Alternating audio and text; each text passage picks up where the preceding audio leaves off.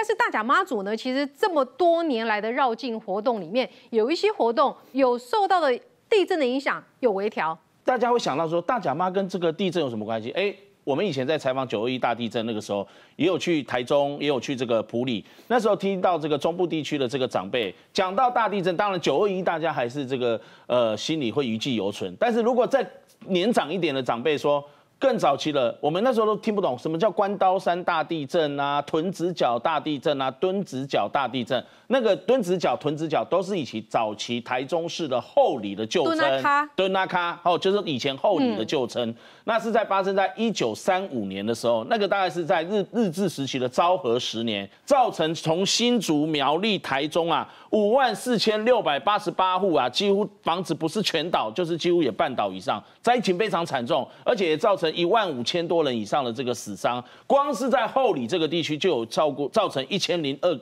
一千零二人死亡，几乎整个台中地区呀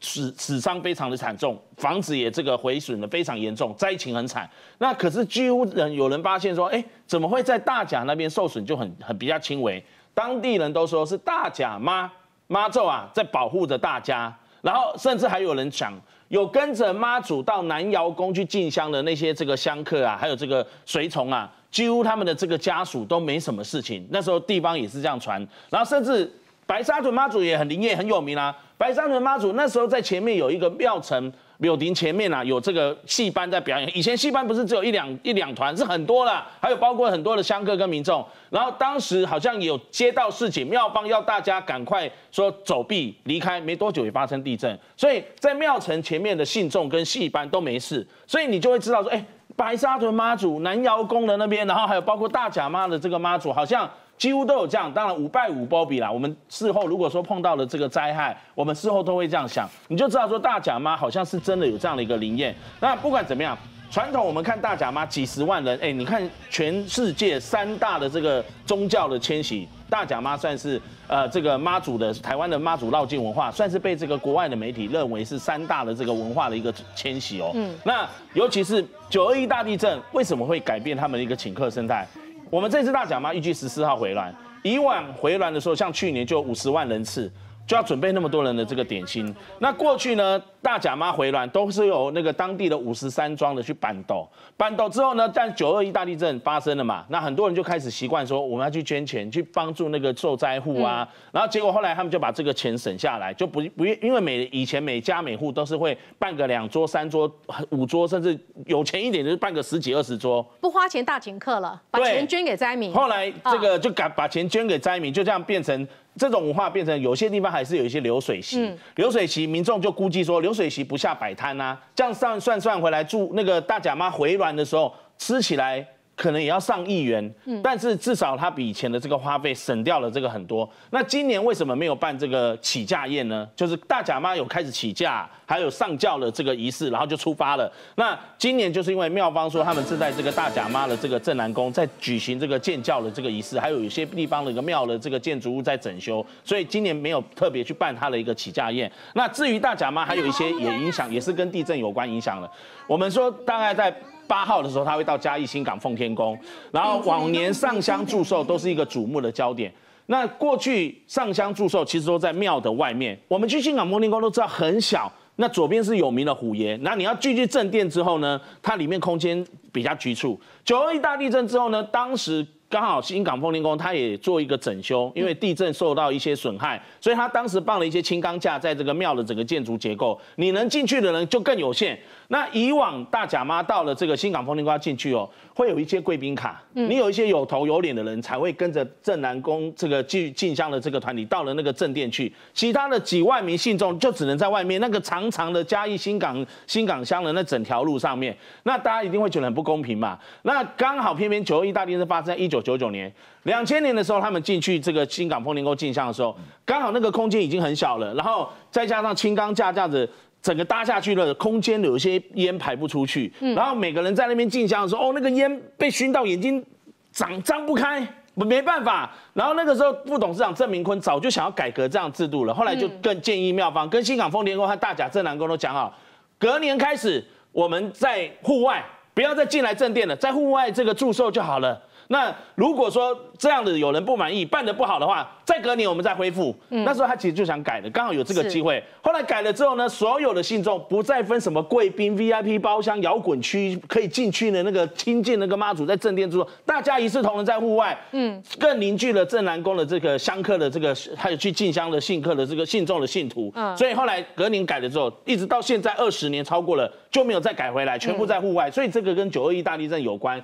改变了他们这样的一个文化。那当然最后啦。大家会讲说，每次大甲镇南宫出去跟回来的时候啊，起驾跟回来都很多政治人物去。那这几年因为这个严清标跟严宽恒的这个关系，那民进党在选举的时候，当然跟他们有一些这个心结就种下来。那现在就变成说，只有这个台中市长。那这次是算是卢秀燕第一次缺席啦，因为她去新加坡访问，据说她回来的时候会出现。那这次反而由韩国瑜担当大梁，因为呢，对于很多的信徒来说，他信的不是说谁来参加起教啊，谁这个扛到了轿子啊，信的是什么？里面那一尊妈祖嘛。我们今天特别请到了这个妈祖信徒，不管是大甲妈还是白沙屯妈祖，你都深深的感觉到受到庇佑。对对对，因为像我是在前呃去年。农历年的时候，那在山上不小心一个意外，那摔下山，摔整个人是摔在铁轨上，所以我的脊椎的神经是整个断掉的。那我醒来之后，就是已经是在加护病房。那医生就告诉我说，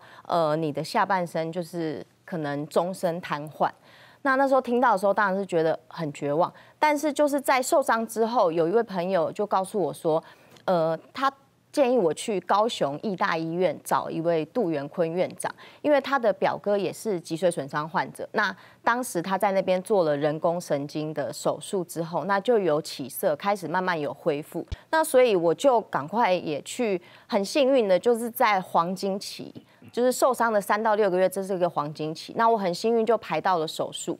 做完之后，原本双脚是完全没感觉，不能动。但手术完之后，就发现那个大腿的肌肉开始跳动，然后也开始有感觉。那接下来更重要的就是后续的复健嘛。可是因为像我们脊椎损伤患者在，因为现在医院的病床非常非常少，尤其是像复健病房，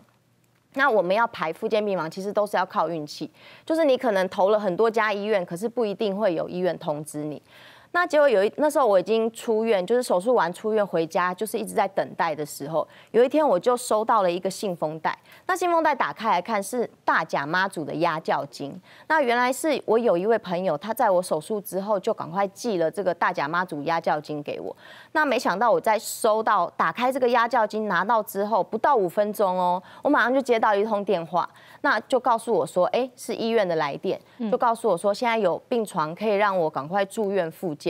然后当天，同时在当天，我又接到了义大医院我的各管师他打来的一通私人电话，他就私底下问我说：“呃，我想问你是不是有没有什么特殊的信仰？”那我就跟他说：“我从小时候就是在念书还十几岁的时候，因为我在宜兰念书，那那时候我就会去拜宜兰南方澳有一个金妈祖庙，嗯，对。”那我是香火鼎盛，对对对对对，他很香火鼎盛。那我就这样从十六岁开始一直拜拜到长大。那我就跟他说我的信仰是妈祖，他们就说果然他们猜到了，因为义大医院的这个院长的团队，他们其实都是一群很虔诚的白沙屯妈祖的信徒。那甚至院长本身呢，他在跟妈祖结缘之后，他其实就是有一个我要。替妈祖服务，就是要以我的医术去救人，来替白沙屯妈祖服务。那那时候呢，那个团队里有一个各管师，他本身是有特殊体质，那他就觉得我很不一样，他觉得这个病人好像是妈祖带来的，嗯，因为他们其实有很多病人都是妈白沙屯妈祖带来牵引过来的，所以他们才会问我说有没有什么信仰，那就知道说哦，原来我可能是宜兰的金妈祖，哎。三大妈祖的加持，对对对，然后跟白沙屯妈祖，然后又收到了大甲妈祖的压轿金，嗯，对，然后所以呢，我就在这个时候才开始跟白沙屯妈祖结缘。那像我今年那个白沙屯妈祖北港绕境，呃，北港北港进香，我也有去，就是那个沙鹿的一个白沙屯妈祖联谊会，那去当义工，就是帮忙包点心、发福食的那种义工，对。那当天其实我说收到大甲妈祖压轿金的当天，除了接到义大医院的各管事的电话，我还接到了一通电话，就是我有一位朋友，因为他之前就告诉我说。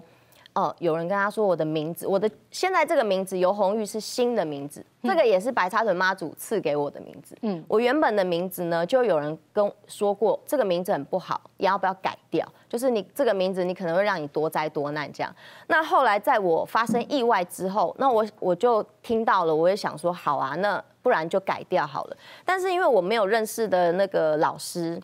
那所以我就问了我朋友说，哎，你有没有认识什么老师，姓名学老师是比较算的比较好、比较准的？结果那天就又接到了我的朋友电话，他打电他打电话来跟我说，那有一个台中白沙屯妈祖联谊会的一位老师，他是替白沙屯妈祖服务的，那他是免费的，你可以去那边算算看。那后来我就真的过去了。那可是算名字呢？他不是说你人去你去就可以算，没有，你要跟他那边有供奉白沙屯妈祖的分灵的佛像，你要跟白沙屯妈祖把杯，你要把三个醒杯，就是都醒杯了，他才可以让你改名。那我很幸运，就是第一次把就三个醒杯，对，几率很低耶。对对对对对对，所以我后来这个游红玉这个名字呢，也是白沙屯妈祖。算是赐给我，对，然后我就觉得很神奇，就是妈祖之间好像有一个串联在，嗯，就是不一定说你拜哪一间妈祖，就是只有这间妈祖保佑你，其实妈祖之间之间都是有一个像是一个共同的一个链这样。